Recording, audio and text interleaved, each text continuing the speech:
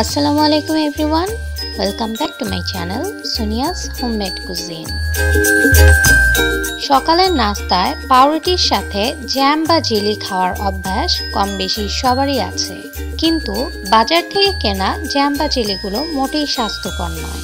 তাই আজ আমি আপনাদের জন্য নিয়ে এসেছি হোমমেড অরেঞ্জ জ্যাম চলুন দেখে নেওয়া যাক কীভাবে তৈরি করবেন এই হোমমেড অরেঞ্জ জ্যাম প্রথমে আমি একটি হাঁড়িতে নিয়ে নিলাম কমলার রস হাফ কাপ এবং মালটার রস হাফ কাপ।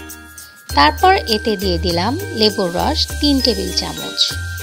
এরপর চিনি দিয়ে দিলাম half cup.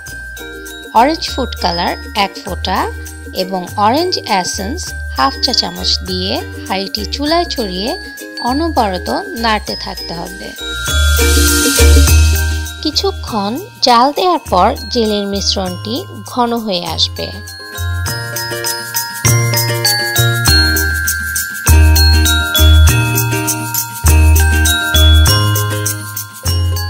এখন দেখতে পাচ্ছেন একটি প্যাচুলারে জেলি নিয়ে আঙ্গুল দিয়ে টান দেওয়ার পর জেলিগুলো মিশে যাচ্ছে না।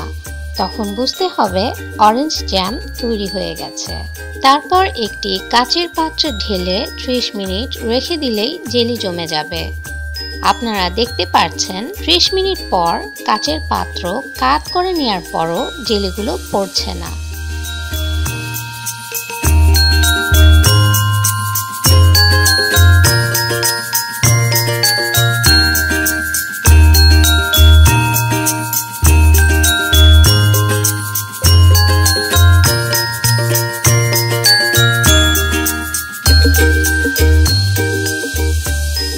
এখন পাউরুটির সাথে পরিবেশন করুন সুস্বাদু হোমমেড অরেঞ্জ জ্যাম বা jelly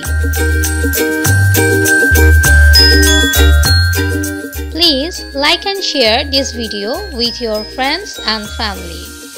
Don't forget to subscribe our channel for more videos. Thank you.